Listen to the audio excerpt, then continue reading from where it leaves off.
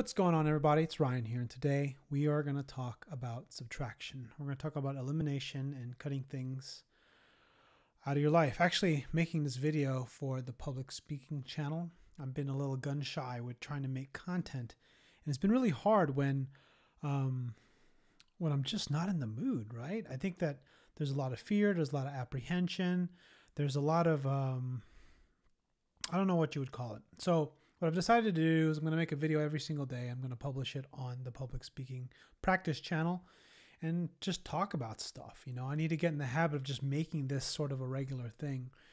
And part of the reason why is maybe I should publish it on the regular channel. I, I don't know.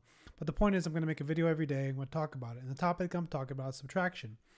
Um, I have a lot of things in my life, uh, business and creative. And what I find is I add more things as I kind of dabble in more things the less concentrated my abilities become, the less time I have. I'm not able to put the quality time necessary to really um, compound my abilities.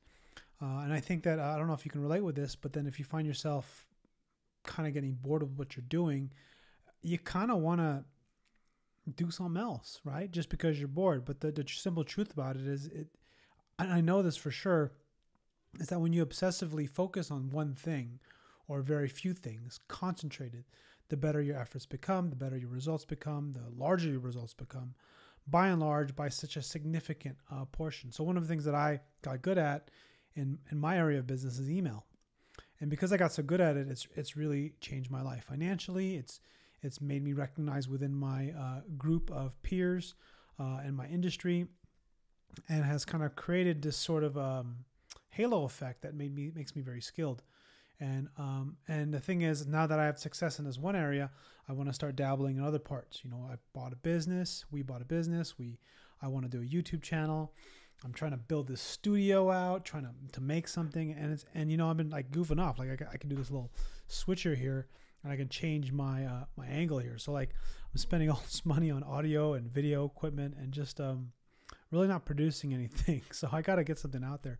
So I think that's this is a, a very good topic because one of the things that kind of come in my mind, or one of the stories that I've heard actually, one the first thing that comes to mind is this gentleman by the name Brian Tracy. He's a very popular kind of self development guru guy, and uh, he was back a while ago. And one of the things that he talked about on a, on an interview uh, was Entrepreneur on Fire. He talked about how he uh, invested in real estate and he lost a lot of money. And one of the things that kind of sort of shocked me about it was it was even more painful than it really was. I think he lost like a million dollars, but it was really more like two million dollars because he lost he paid taxes on that money, right? So it's actually probably way more than that.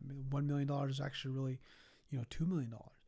And because of that, I think about like, and the reason why he what he what he kind of was being humble about and realizing is that he was doing something that he wasn't in his circle of competence, something he didn't understand well, um, because he got you know so much success in one area, he thinks he can easily like transition that into another area. It just seems like that you feel like, and to some degree, once you get some confidence, you feel like you're just so smart. This um, uh, confidence becomes starts to approach arrogance. I won't say I'm arrogant. Uh, actually, I am arrogant. I'll say that I am arrogant. But one of the things that I, I try to manage that arrogance because the thing that gets us in a lot of trouble or gets me a lot of trouble is thinking that I can do something in an area that I have very little experience in. And and that's the thing where it really becomes important that you always uh, become a student. Um, and the being a student really is about just practicing, being always learning, always developing yourself.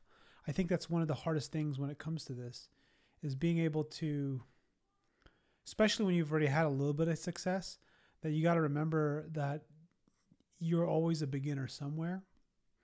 And if you want to grow and if you want to improve as a person, improve as a business person, improve as a, yeah, just improve as a person, you have to approach everything with sort of like uh, a student's mindset. I think one of the books that I read that was, that talked a lot about this was, um, called uh, The Fighter's Mind. And he talks about this thing where you, you got to teach someone that is plus, minus, and equals. And what that is, is plus you you teach or work with someone who's like a mentor, someone that's above you.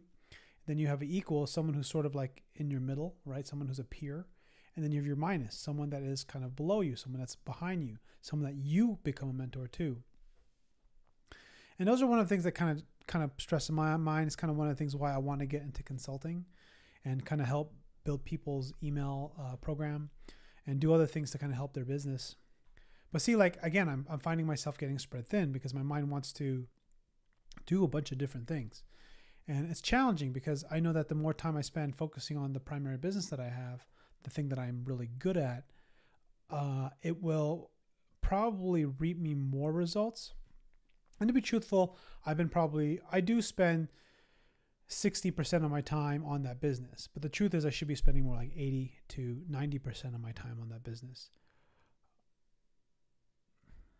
So I don't know what I paused there. Just had a brain fart. So I, I should be spending 80 to 90% of my time in that business. And the reason why I need to spend that much time in that business is because the more time I spend in it, the more money I'm going to make, the more opportunities I'm going to have, the better I'm going to get. I'm going to be able to build this brick house, this this skyscraper. Whereas the YouTube is sort of a lot like um, a pile of dirt. I'm actually just trying to build a foundation, right? I actually, I have an okay foundation, but now I'm trying to like build that first level and that second level, right? Because one of my goals is to have um, a million subscribers in four years. That's the goal I set for myself. But you know, I'm gonna take this year or two to sort of like really get good at this and figure this out. You know, and that's like because it just this YouTube it's is always to be there. But I think long term, because to me, this is something I'm always going to want to do. I'm going to always want to talk in front of the camera. I'm going to always want to, and maybe not even talk in front of the camera. I'm going to always want to express myself. You know, because really what this is about creative expression. Because I have these thoughts and I want to be able to build something that I can, um, that I can share. I know I feel like I have something valuable to share, but the problem is, you know, being able to kind of package that, get really good at presenting myself, getting really good at just talking in front of the camera. It's it's a tough thing because, you know, you forget, I forget that to get good at anything, it takes a lot of time, takes a lot of consistency, and even if after a time of consistency, if you stop doing it, you're going to lose your edge. And people who are at the top of their game, like Mr. Beast, for example, it's really hard to see like how much untold time he spends making a video, how much time he spends working on an idea to for a video. So when I when I think about that, I just you know I'm trying to spend just a few minutes here, a few minutes there. So what I'm trying to do is just really spend 10 minutes a day or making a 10 minute video, putting on the public speaking channel. And maybe if I'm lucky, I will find a way to sort of make a video that's good enough that makes it on the primary channel.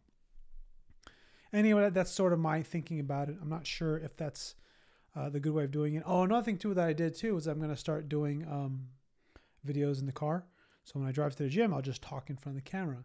And a lot of that is just part of this is just getting practice, like getting those reps and getting those sets you know, like learning how to look at the camera again, getting back in that groove.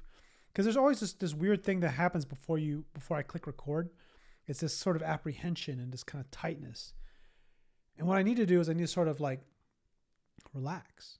I need to find a way to relax in front of the camera. I need to find a way to sort of develop this skill of presenting myself. And, and then of course more importantly not just presenting myself but now getting the ideas putting them together and then presenting them to you something of value. So that's part of, of a lot of what I'm, I'm trying to do in my head. It is a, it's a very hard thing.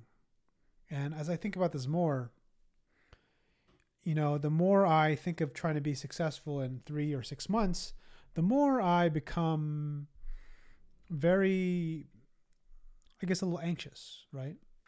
So that's kind of why it's important to have patience.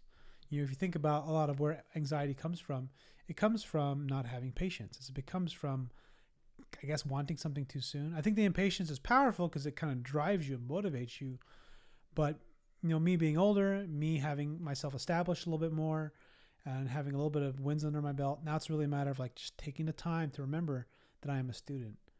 Right. And then, and maybe that's one way you can look at it too. If you're trying to build a channel or build some sort of content creation, is to get to, to really becoming a student again um, and just kind of looking in that lens. Because if you look through that lens, the pressure doesn't feel so bad. Like if you're just learning, if you're making videos about you learning, about what you're discovering, it doesn't become this feeling of necessarily having to be this kind of expert or this really smart person because sometimes that's where I come from. Like I want to like impress, I want to impress people, right? I want to show like, oh look, look, look what I'm, look what I'm teaching. Look how much I know, and look how much I'm sharing with you, right? And I, I can probably come from more of a humble place, right? It's a mixture of those things. Like it's a push and pull, but that sort of ends my 10 minutes. So I hope you enjoyed this video. Um, if you have a question or comment, or you want me to talk about a particular topic, this is probably a good place to go because I am you know, this is not really meant to be evergreen. It's really just meant to be a practice channel video. But if you enjoyed this video, click like if you haven't already, subscribe if you're not a subscriber, and I'll see you all on the next video. See you guys.